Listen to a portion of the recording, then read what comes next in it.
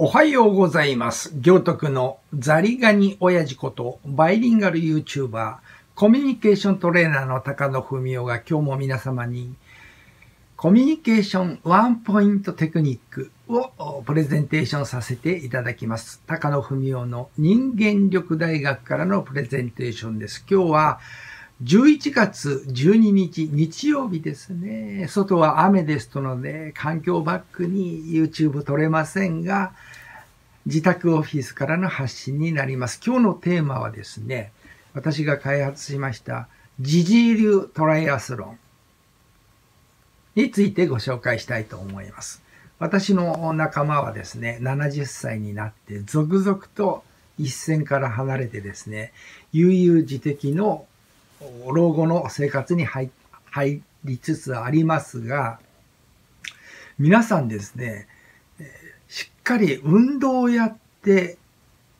体を鍛えてないためにですね、次々病気になっていってます。特に癌ですね。特に癌。本当に気の毒なんですが、定年を終えてですね、5年ぐらいでほとんどボロボロになってですね、80の声を聞かないうちに亡くなっていくんですよね。もったいないと思います。せっかくですね、第一線を離れてですね、これから老後のですね、楽しみを味わおうと思う時にですね、この世を去るのはもったいないですから、私はですね、運動、老人になったら、よりですね、定期的な運動をやりなさいということをお勧めしたいと思います。そんなわけで今日はですね、皆様に私の開発した高野流、ジジー流トライアスロンについてえご紹介したいと思います。えトライアスロンは野山で走り回る、泳ぎ回るのは辛すぎるので、老人用はですね、スポーツクラブに入ってですね、走るのはルームランナー、泳ぐのはスポーツクラブのプールでいいと思います。そしてですね、自宅の周りをロードバイクを入手してですね、走り回れば、立派なですね、自治流トライアスロンになります。競技そのものは強烈な競技ですが、トライアスロンですが、それをですね、えー、高齢者用にですね、アレンジして開発した、それをですね、週に1回やってます。どういうのかと言いますとですね、私が住んでるこの行徳は、お隣は浦安です。ご存知のように、ディズニーランドがあります。ディズニーランド。浦安はですね、お金のある市ですので、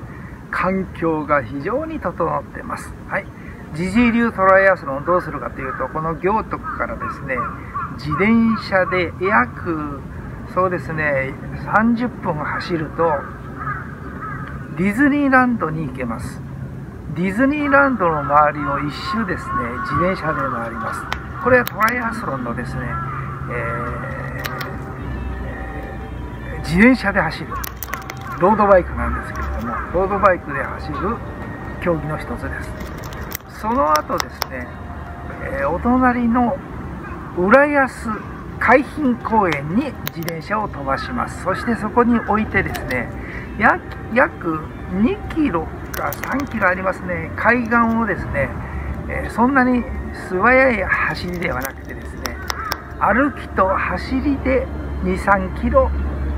まあ、走ります。これもトライアスロンの競技ですね。そして、えー、自転車のところに戻って、その後ですね、えー、浦安に戻ってきて、南行徳のですね、チップネスというスポーツクラブの会議ですので、そこでですね、えー、10本ばかりですね、25メーターを10本行き帰りを泳ぎます。これでですね、走って泳いで自転車、トライアスロンですね、これをやることにしてます。無理をしないでやることにしてます。これが私のですね、健康の方法。